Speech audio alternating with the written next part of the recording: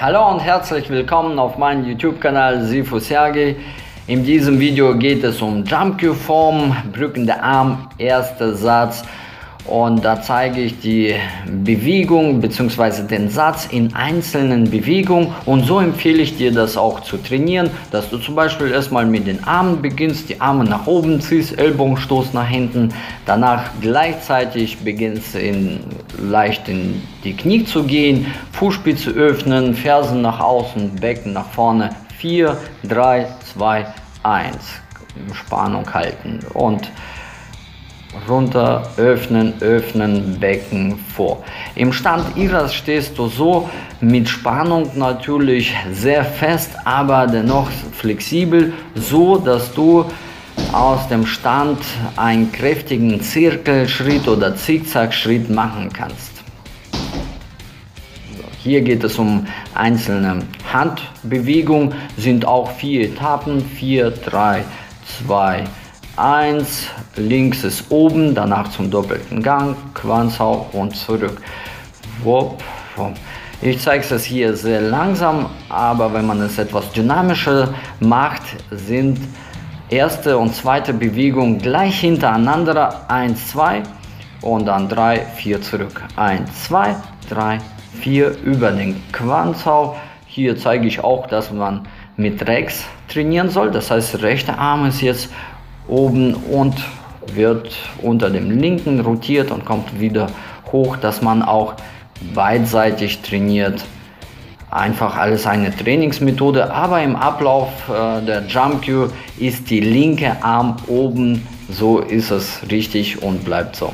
Genau, als Trainingsmethode zeige ich verschiedene Varianten. Hier betone ich schon langsam, dass du das Ganze nicht nur aus den Armen machst, sondern schön aus dem Körper, nicht die Handgelenke stößen runter, sondern aus dem Ellbogen, aus dem Körper kommt der doppelte Gang zustande. Das wird auch im Spannung im Schulter, dann Ellbogen, Stoß nach unten, zurückstoßen, 4, 3, 2, 1, über den doppelten Bonsau, tiefen Bonsau wird rotiert zum Quanzhau und wieder zurück, Rotation, doppelte Tarn, zurück. Wichtig ist, die Ellbogen nach vorne zu drehen bisschen, damit man die, wenn man hoch geht, nicht Ellbogen nach oben zieht oder extrem nach außen geht. Über den Bonsau, Rotation, Armrotation. Hier ist eine Idee davon. Die Handgelenke, die Arme sind locker, aber im Schulter, im Körper gibt äh, Spannung. So, zack. Und dann auch mal die rechte Seite trainieren. Sehr wichtig, dass man nicht einseitig denkt als Trainingsmethode. Natürlich, wenn du die ganze Form vorführst, dann äh, verwechsel es nicht und lass die linke Hand bleibt oben. Das ist eine Variante, die dann in Beauty weitergesetzt wird. Quanzhau Idee steckt in jedem Satz, auch in der Simnim Tao, in Jumpy und in der Beauty. Das kann dann auch mit Wendung ergänzt werden und so weiter. Das kannst du auch schon hier üben und aus dem ersten Satz äh, rausholen.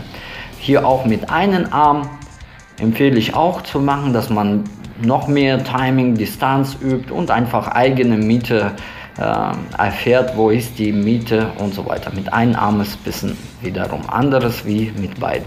Das ist an der Türschwelle hier, dass man genau den Abstand hat und nach unten.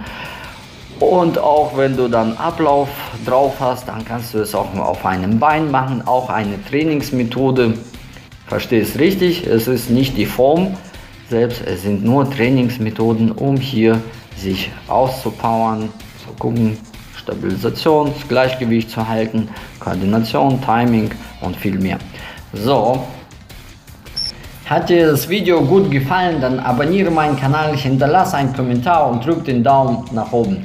Ich wünsche dir viel Spaß beim Erlernen der Jump Q Form und bis bald im nächsten Video. Ciao!